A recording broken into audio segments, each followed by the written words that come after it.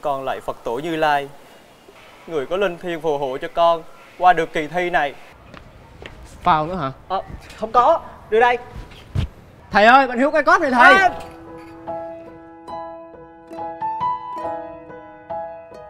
tôi tôi có chuyện muốn nói. Tôi ờ, thật sự tôi không phải là như vậy. Trường là thế nào? chứ tôi thích tuấn anh.